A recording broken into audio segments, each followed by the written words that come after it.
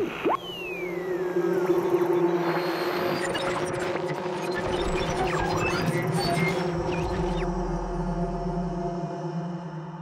Strange Dr. Weird.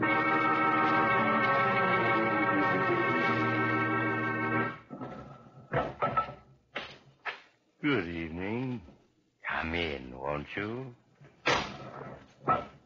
Well, what's the matter? You seem a bit nervous.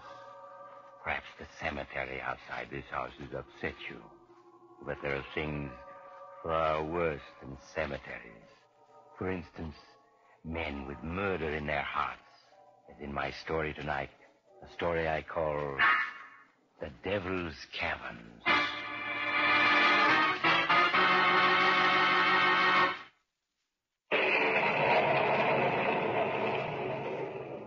My story, The Devil's Caverns, begins in the desolate and remote mountain country of New Mexico.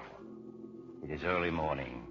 In a large hunting lodge, John Drake, the noted naturalist and explorer, is speaking to his two nephews, Victor and Paul. You two have just wasted your time coming to New Mexico to see me. I told you both a dozen times I won't increase your allowances, and that's final. But, Uncle John, you can hardly expect Victor and myself to live on five thousand. Now be quiet, Paul. Uncle John has always been most generous to us. If he feels that he can't give us any more, we should be satisfied. Thank you, Victor. Dear me, it's nine o'clock, and I'm not even at work. I must leave now. Oh, you're going to those caverns you discovered in the mountains. Yes. Would you two care to come with me? No, thank you, Uncle John. Exploring caverns is hardly in our line. But you can't go back to New York without seeing the Devil's Caverns. The Devil's Caverns? yes, I call them that because they're so huge and dark. I imagine to anyone but a scientist like myself, the caverns would be rather terrifying. I see. Well, thanks anyway, Uncle John. Uh, perhaps some other time. Ah, very well. I'll see you both this evening when I return. The old fool. Worth millions, and he wastes his time exploring caverns. Perhaps we made a mistake in not going to the caverns with him. What do you mean? Last night, Uncle John spoke about finding holes in the caverns. Holes hundreds of feet deep. What are you getting at? Suppose Uncle John were to accidentally fall into one of those holes. You and I would inherit his millions. Say, I hadn't thought of that. Well, I have. Yes, Paul, tomorrow you and I will accompany Uncle John into the caverns. Who knows? Perhaps he will meet with an accident.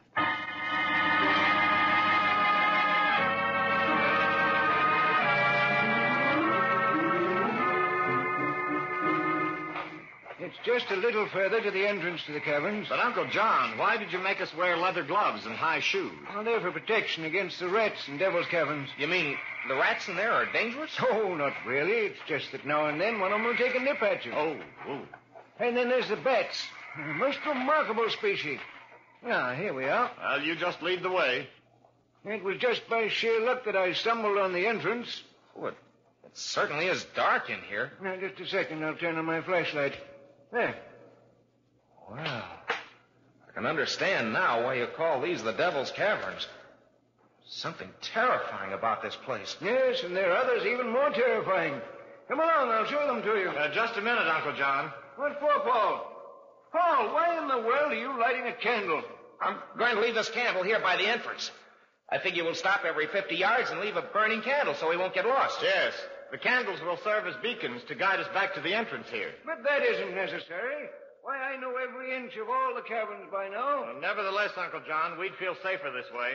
Very well. It'll make you feel better. Now come along. There's so much I want to show you.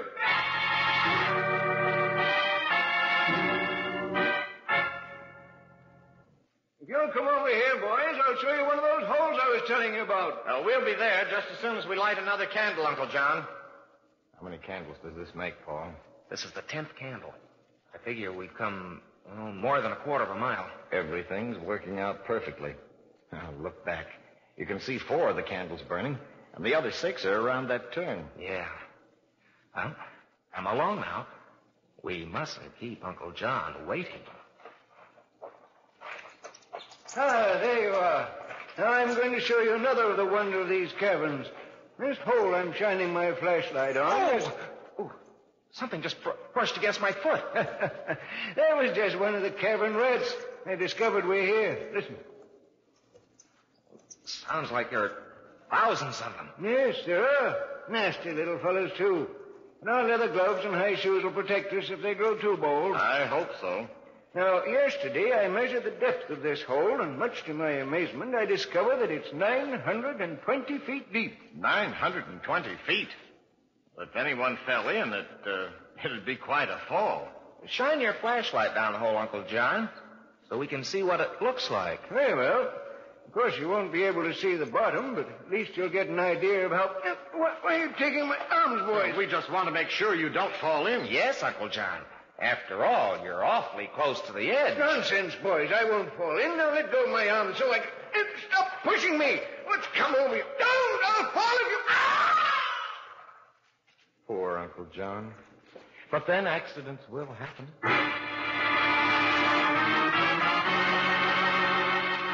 After John Drake's death scream had faded away, only the shrill squeaking of the rats and the heavy breathing of the two men remained. For a moment the two stood in darkness. Then Victor spoke. All right, Paul. Turn on Uncle John's flashlight and let's get out of here. Why, I haven't got his flashlight. He fell in before I could take it away from him. What? You stupid fool. I might have known you'd bungle it. Now what have we got? Wait a minute. I have my cigarette lighter, if it only works. There. Doesn't give much light, but it'll do. Oh, come on. Let's get out of here. Place gives me the creeps. Yes. Now, there's the first candle a few yards away. Come along. Victor, look. The first candle just went out. Yes. A draft probably blew it out. Candle was right over here on this rock. Oh, Victor, it's gone. Gone? Nonsense. You probably left it on another rock. Now, let's not waste time. There's, there's the second candle 50 yards ahead. Oh, all right, but I tell you, that was the rock I left it on. Now it's gone. Oh, look. Second candle. It, it seems to be moving. It's falling over. It's gone out. But that's as though someone blew it out. Don't be a fool. Look, the third candle's beginning to flicker. It can't go out. It mustn't go out. Hurry. Oh, Victor, it has gone out. Now there aren't any candles to guide us out of here. Get hold of yourself. I've got my eye fixed on the spot where the third candle went out. Once there, we merely have to turn the bend to see the other candles. Yes, but suppose, suppose there are two. They won't be. It's Uncle John. He's going ahead of us, blowing out the candle, so we can't escape. How could it be Uncle John? He's dead. It's his ghost that's doing it. He's getting revenge on us for what we did. Be quiet, do you hear? Listen. The rats. That's it. They're the ones who are knocking the candles over. They're carrying them off. They, they're hungry. They're attracted by the wax in the candles. Why are you stopping? Can't you see? The path divides into three here. Do you remember which is the way out? I don't remember these three paths at all. We must have come by the middle path. Yes, I'm sure that's the one. Come on.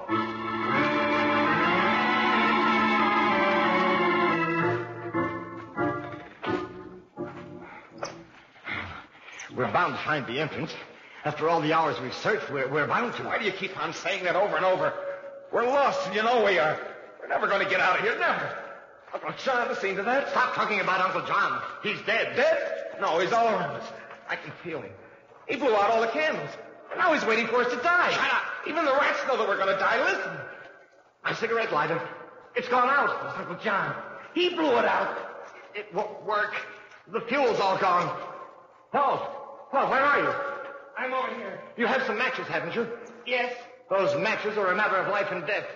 We don't dare walk in the darkness, not with all those holes around. Paul, keep talking so I can find you. How can you find me when I'm lost? You'll never find me. Oh, Paul, what is it? Uncle John. He just brushed past me. He's come to take me. Don't be a fool. It was a bat that brushed past you. No. No, it's Uncle John. He's come to get me. No. No, stay away from me. Stay away. Paul, come back. Come back, you hear? It's dangerous to run like that. Paul. He's fallen into a hole. He's gone. I'm all alone without any light at all. So, Uncle John, you think you've gotten the better of me. Well, you haven't. You haven't, you hear? I've got to get hold of myself. I must. If I go to pieces, I'll never get out of here. I, I, I've got to take this thing out. There must be some way that I can. Ow! My left leg. Oh, one of those rats bit me. But they're swarming all around me. Ow! I've got to fight them off. If I don't, they'll. Ow! Oh, no! Get away! Get away! Ow!